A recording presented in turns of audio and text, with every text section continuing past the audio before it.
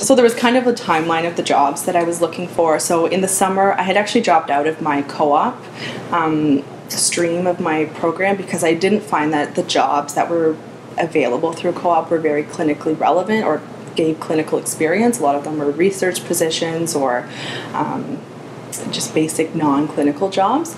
And so my friend my best friend at the time was applying to optometry school and the requirements for optometry school are very uh, a lot more rigid than medicine and some other programs. So she did require time working as an optometric assistant in an optometry office.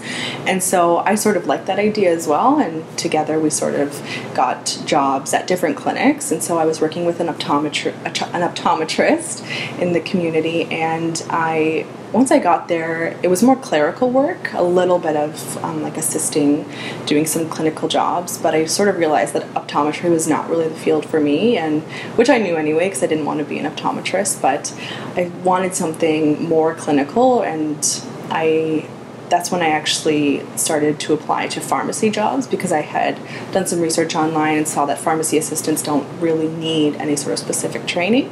And so I applied to basically all of the pharmacies in my area and I got a job as a pharmacy assistant at a fairly large Shoppers Drug Mart. And so I really I did actually like the pharmacy part of it, but I, again, I knew it wasn't really for me. Um, and I knew I didn't want to be a pharmacist at that time either. So I was looking for something even more clinical than a pharmacy assistant. And so that's sort of when I connected what I knew in optometry with what I wanted in medicine. And I came across ophthalmology and I just sort of sent my resume out to all the ophthalmologists in the area. And it was just sort of like a right place, right time. An ophthalmologist was really in need of some help. And due to my experience in the optometry in the pharmacy, and I had also done some volunteering with some elderly patients in the hospital, on top of some of my pediatric experience working in a daycare, it sort of just all was enough to make her say, I'll take a chance with you, see what I can teach you. And that's how I got my, my most clinical job as an ophthalmic technician, which is sort of similar to the role that a PA would play in an ophthalmology practice. Okay, and I know that we get a lot of questions from pre-PAs who struggle, um, like apart from volunteering in a hospital, how am I supposed to get these healthcare experiences in undergrad? What mm-hmm. tips would you have for them? I would say um, don't get discouraged if you feel like you don't have any specific qualifications. I mean, I literally didn't have any specific training to become an ophthalmic technician before I got hired.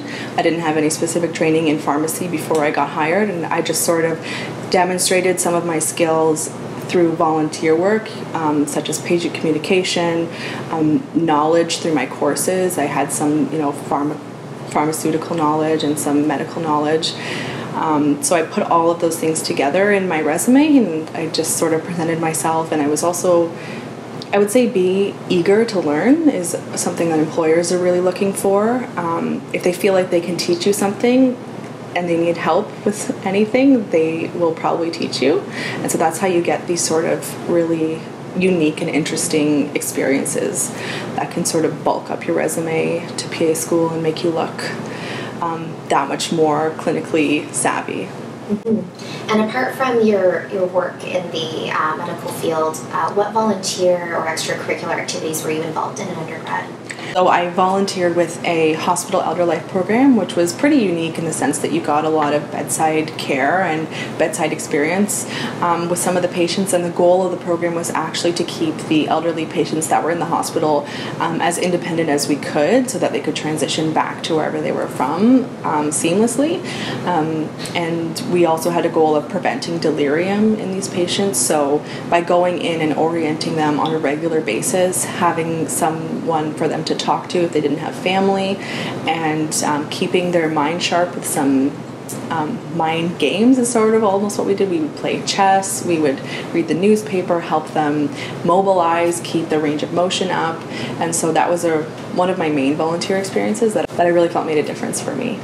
Um, otherwise, I did have some volunteer experience um, in anatomy cadaver lab, doing some prosection and preparing specimens for anatomy classes. I also worked as a teaching assistant in some of these anatomy classes.